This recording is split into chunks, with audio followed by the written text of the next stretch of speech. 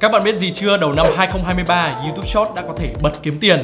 Hãy cùng mình tìm hiểu xem chi tiết về điều kiện để tham gia YPP bằng video ngắn nhé.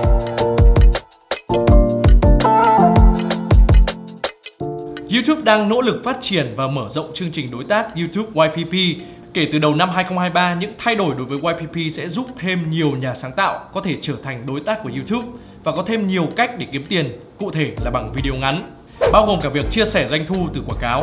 Vậy điều kiện để tham gia chương trình đối tác bằng video ngắn là gì? Hãy cùng mình tìm hiểu ngay sau đây. Từ đầu năm 2023, các nhà sáng tạo có thể đủ điều kiện tham gia YPP khi thu hút được 1.000 người đăng ký và 10 triệu lượt xem video ngắn công khai hợp lệ trong vòng 90 ngày gần nhất. Sau khi được tham gia chương trình, các đối tác sẽ có quyền sử dụng tất cả các tính năng và lợi ích mà YPP cung cấp, bao gồm cả việc quảng cáo trên video dài. Một lưu ý về điều kiện này là số lượt xem video ngắn công khai ở trong trang video ngắn sẽ không được tính vào ngưỡng đủ điều kiện về 4.000 giờ xem công khai. Tiếp theo về doanh thu từ quảng cáo ở trên Short. Ngoài ra, trong năm 2023, tất cả nhà sáng tạo mới hiện đang tham gia YPP đều sẽ đủ điều kiện nhận phần doanh thu chia sẻ từ quảng cáo được xem giữa các video trong trang video ngắn. Vậy nên mỗi tháng doanh thu từ những quảng cáo này sẽ được cộng lại dùng để đền đáp cho các nhà sáng tạo video ngắn cũng như để góp phần trang trải chi phí liên quan đến giấy phép sử dụng nhạc. Trong tổng số tiền được phân bổ cho các nhà sáng tạo, phần doanh thu chia sẻ là 45%, bất kể họ có dùng nhạc trong video ngắn hay không. Khoản doanh thu này sẽ được phân phối dựa trên số lượt xem video ngắn của họ ở từng quốc gia. Và khi bắt đầu hoạt động vào đầu năm 2023, mô hình chia sẻ doanh thu sẽ thay thế quỹ của YouTube Short.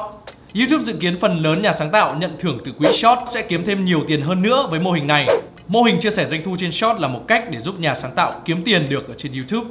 Bên cạnh các nguồn doanh thu khác từ quảng cáo ở trên video dài, các tính năng tài trợ của người hâm mộ và hàng hóa. Và cuối cùng một update vô cùng quan trọng là tính năng vô cùng cảm ơn ở trên Short. Theo chia sẻ của YouTube, thậm chí còn sớm hơn từ mùa thu của năm 2022, YouTube sẽ cung cấp tính năng vô cùng cảm ơn ở trên Short cho một số nhà sáng tạo và dự định sẽ mở rộng phạm vi cung cấp vào nửa đầu năm 2023. Đồng thời sẽ bắt đầu kết nối với các thương hiệu với các nhà sáng tạo video ngắn thông qua YouTube Brand Connect.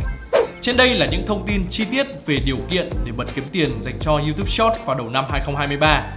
Các bạn hãy theo dõi ngay MeTube Creators để nhận những thông báo mới nhất tới từ YouTube. Nếu các bạn thích thì hãy để lại một like, bình luận và đăng ký MeTube Creators. Xin chào và hẹn gặp lại các bạn ở những video tiếp theo.